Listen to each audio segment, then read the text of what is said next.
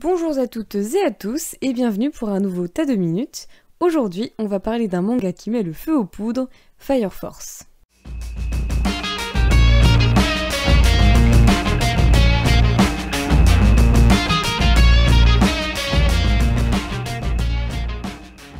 Quand j'ai appris qu'Atsushi Okubo avait publié un nouveau manga, je n'ai pas hésité.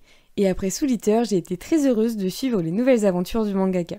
Cette fois-ci, on quitte Shibuzen et ses apprentis meisters pour découvrir un monde ravagé par un fléau sans équivalent, la combustion humaine. Fire Force, ou Enen no Shobudai, est un manga publié depuis 2015 au Japon, créé par le très bon mangaka Atsushi Okubo. Le manga connaît par ailleurs un très bon succès auprès des lecteurs et depuis 2019, une adaptation en série animée est produite par les studios David Productions. Mais qu'est-ce que signifie Fire Force? Eh bien, la Fire Force, c'est un ensemble de brigades spéciales qui luttent contre le phénomène de combustion humaine, contre les torches humaines. En d'autres termes, ce sont des pompiers, dotés ou non, de pouvoir autour du feu. L'histoire se déroule dans un Tokyo fantastique où l'on suit Shinra Kusakabe, un humain avec des pouvoirs de troisième génération, dans son rêve de devenir un héros.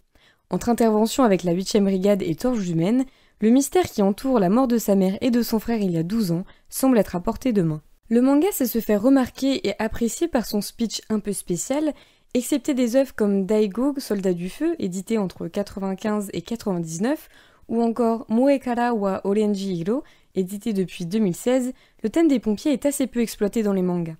Et le mystère des torches humaines, ajouté aux secrets détenus par les différentes brigades, complexifie le manga et le rend encore plus intéressant.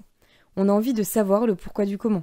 Enfin, un point non négligeable pour Fire Force, ce sont ses dessins et ses personnages. Les chara-designs sont très beaux, les personnages sont variés et attachants, mais ce que je préfère dans ce manga, ce sont les combats et la façon dont Atsushi Okubo dessine le feu. Les scènes sont fluides, simples et complexes à la fois, et surtout c'est un plaisir de se perdre dans les décors et d'en sortir toujours tout feu tout flamme. C'est ici que la vidéo se termine, j'espère que ce tas de minutes vous a plu, n'hésitez pas à laisser un commentaire, voire à liker la vidéo, ou même à vous abonner. En attendant, portez-vous bien et bonne lecture Salut